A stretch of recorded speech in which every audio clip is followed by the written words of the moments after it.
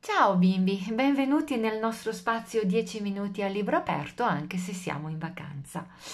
Ho una bellissima notizia da darvi. L'anno prossimo sarà con noi un bimbo nuovo, un bimbo che si chiama Leonardo e a lui voglio dedicare la lettura di questa bellissima storia. Ruby è la storia di quando incontrò una preoccupazione.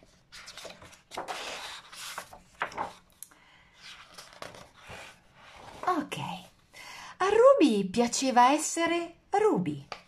Amava volare in alto ed esplorare posti selvaggi e lontani. Qualche volta arrivava persino nella zona più remota del giardino. Ruby era davvero felice finché un giorno scoprì una preoccupazione.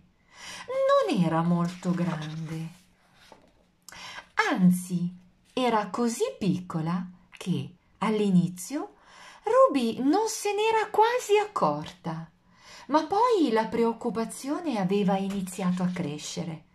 Ogni giorno era diventata sempre più grande. Non la lasciava mai sola. Era lì a fare colazione, a fissarla da dietro la scatola dei cereali ed era ancora lì la sera mentre si lavava i denti. La cosa strana era che nessun altro riusciva a vedere la preoccupazione di Ruby, neanche la maestra. Così Ruby faceva finta che fosse invisibile anche per lei. Provava ad andare avanti come se fosse stato tutto normale, ma non lo era.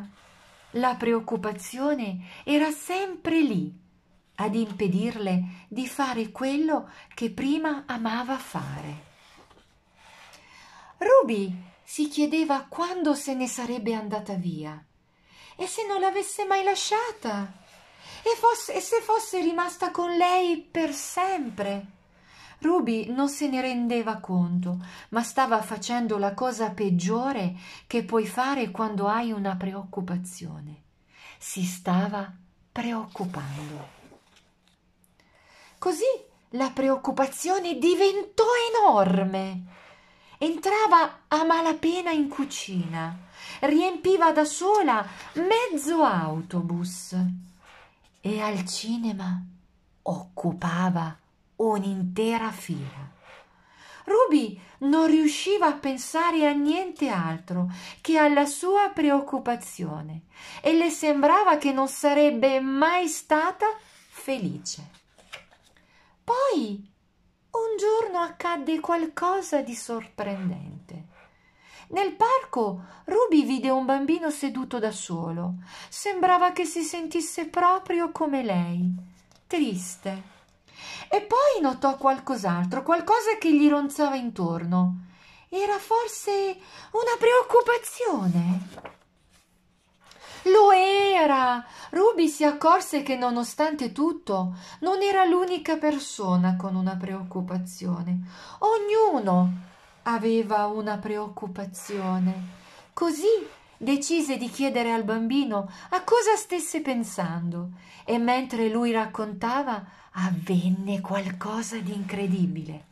La sua preoccupazione cominciò a rimpicciolirsi. Allora Ruby fece la cosa migliore che puoi fare quando hai una preoccupazione. Iniziò a parlarne. E più parlava, più la preoccupazione di Ruby diventava piccola, finché quasi non si vide più.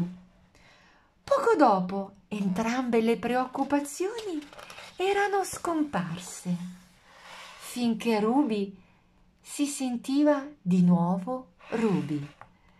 Certo, non fu l'ultima volta che Ruby ebbe una preoccupazione.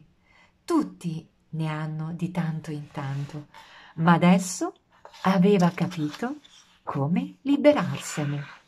E quando una preoccupazione arrivava, non rimaneva mai a lungo.